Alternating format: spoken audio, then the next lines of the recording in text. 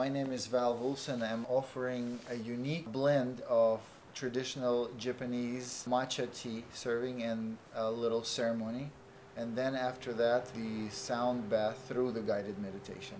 This is really unique blend where people get to taste really high quality Japanese matcha tea in the beginning in a very nice setting and after that through the guided meditation they would be guided into the sound bath. How i was developing this kind of technique or this kind of tool for meditation is to be able to bring the tea drinking experience with sound bath where tea is enhancing your internal focus and opens up your heart opens up your senses. So essentially it's tea experience combined with sound bath